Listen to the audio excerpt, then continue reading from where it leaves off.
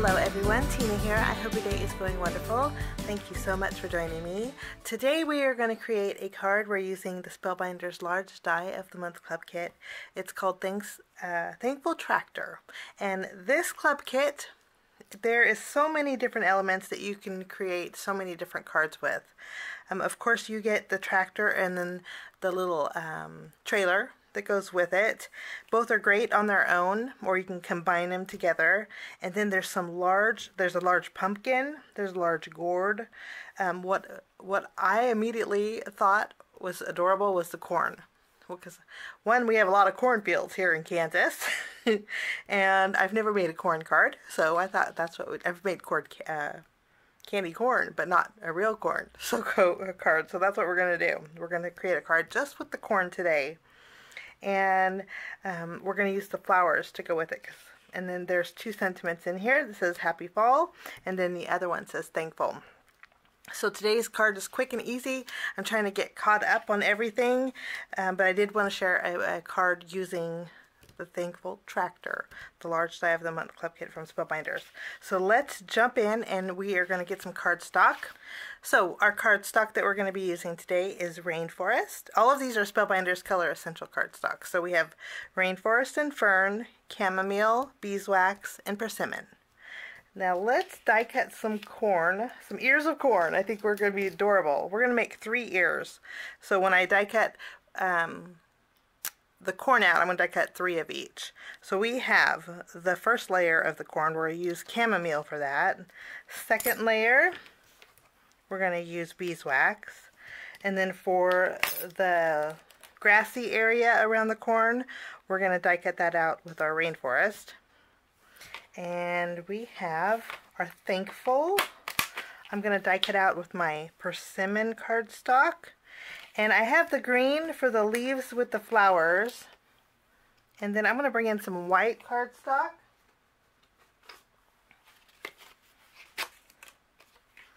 And I'm going to die cut out a couple sets of flowers. And we're going to create a, a corn on the cob card. so I have a lot of die cutting to do when I'm done. I will be right back. I have everything die cut out, so we're going to put our dies off to the side, and then we're going to do a little bit of ink blending on our corn on the cob. So I'll zoom in a little bit, and we'll bring in my craft mat. And I'm not going to color, I'm not going to, I'm going to layer these first, and then I'll do my ink blending, because I just want it on the top. It might be easier for me to layer it after they're adhered together. So you're just using my tape runner. I'm going to add some adhesive to the back side of the top layer.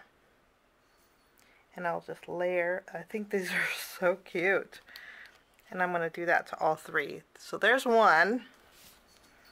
When I was younger, we lived in Iowa. There was lots of cornfields in Iowa. In fact, my I remember visiting my auntie. This was when we were little remember visiting my auntie and she would have cornfields in the back of her house. And I remember every morning she would walk out to the cornfield and she would grab one of the ears of corn fresh off the stalk and then she had a nail like on an oak tree and she would put the ear of corn on the oak tree and then the squirrels she could look out her kitchen window and the squirrels would just go crazy over that ear of corn. And then by the next morning, all of the corn around the ear of corn was gone. All that was left was a husk. And um, I just thought that was the neatest thing. She'd take the husk off and then she'd turn around and go get another ear of corn. So that's the gift of having a cornfield in your backyard, I guess.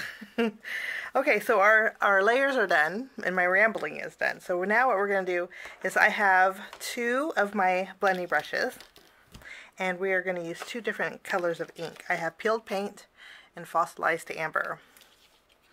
We're going to take fossilized amber and I don't think I've used fossilized amber on this brush but we're going to ink it up and we're going to go um, I think we're just going to go off of one side. We're going to go on, we're going to add a little bit of color to the right side of our ear of corn, from the bottom over to the, the side.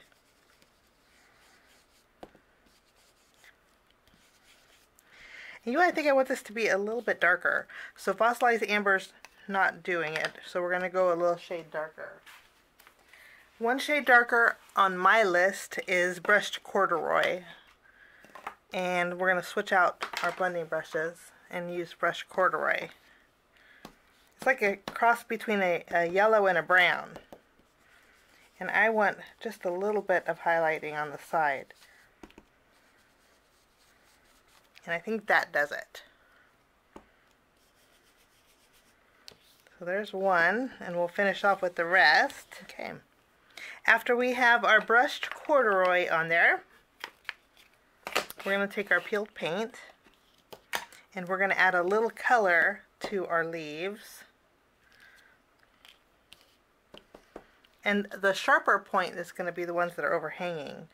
So I'm just going to add a little color. And this is not dark enough for me either. Okay, I'm not having no luck with my coloring today. I want a darker one.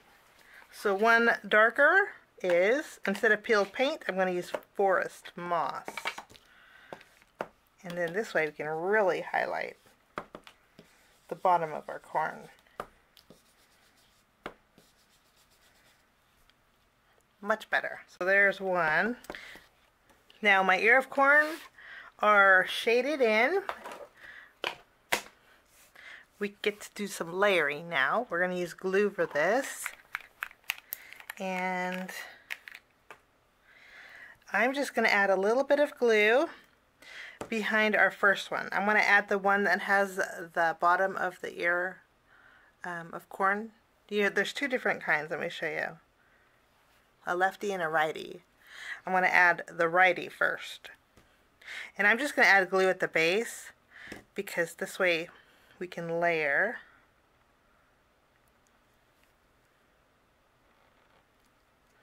I need to get an acrylic block to help weigh that down. Now after we have our first one done, I lowered it a little bit. I'm going to go ahead and add a little bit of glue at the base of this.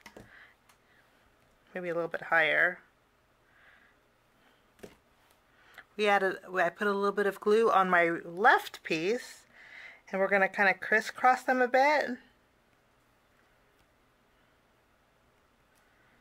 Like so. I don't think there's any right or wrong way to do this. So there's those. And I'm going to continue with the rest of these. Now that I have all of my first layer done, we have these little pieces. Now I believe these little pieces attach to the back side. So I'm going to add a little bit of glue all along that point of the back on the left. And I'm going to add this. If I'm going to follow the curve of this to this.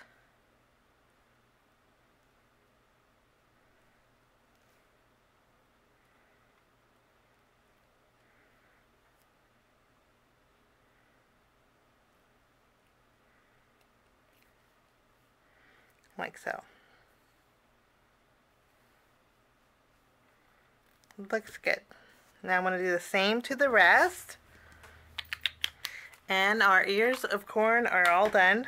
I just think they look so cute. I just blows me away what we can do with paper. It really does. Now we have our flowers. We're, we have our glue out, I did I cut out some leaves here. And I have some, I cut out the flowers with white and I'm going to go ahead and add a little bit of color to the center of these flowers. I probably won't use them all, but I wanted to add just a little bit of blue.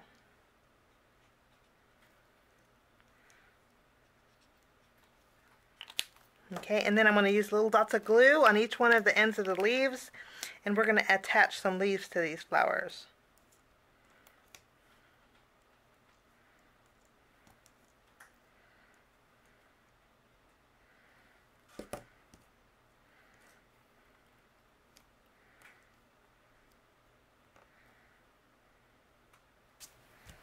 we have our flowers with leaves, our ears of corn, and I put foam adhesive behind everything, so we are good to go. All we need is a background. To create our background, we're going to bring in a piece of white cardstock. It measures four inches by five and a quarter. And I have, I want to bring in a die set I haven't used in a while. This is the Spellbinders Elegant Twist Circles. I forgot how much I love this die set. I say that all the time. so this piece right here will cut out a window. If I didn't use this piece, then it would just have the twist marks. Kind of, let me show you, I have some examples. It would just, I'm going to create a window like this. And we'll add this middle piece towards the top. I'm going to run this through my die cut machine. This is what my window looks like. I just forgot how pretty that is. And I'm just going to keep the rest of this white. Um, I do have a background panel that's a card front panel, so we're going to take this and add this to our card base. We'll just put a little bit of adhesive. If you need to stretch your colored cardstock, you can just trim out panels. Otherwise, you can just use a teal colored card base. You can kind of see how off my trimming skills are. so let's trim this down. Use our paper trimmer. We'll trim off the excess. And it looks like my card base was probably the right size, but my panel was not.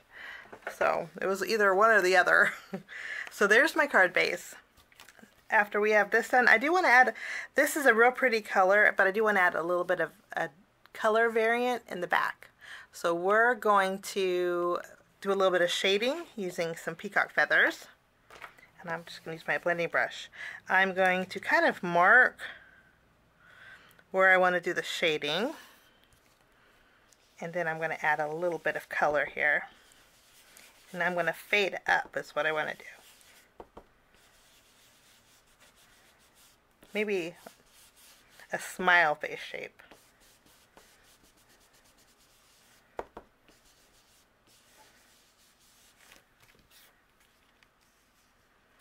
Just a little color variant is nice. We're gonna, I have some foam adhesive behind my panel. We're gonna go ahead and remove the release paper and add this to our card base. And again, this is a little bit smaller than our card base. It's four inches by five and a quarter. So that Okay, I removed the release paper, and I don't think I told you the color of the cardstock. This is Waterfall. Probably one of my favorite teals. And we're going to go ahead and put this in the center of our card base. Oops, not there. that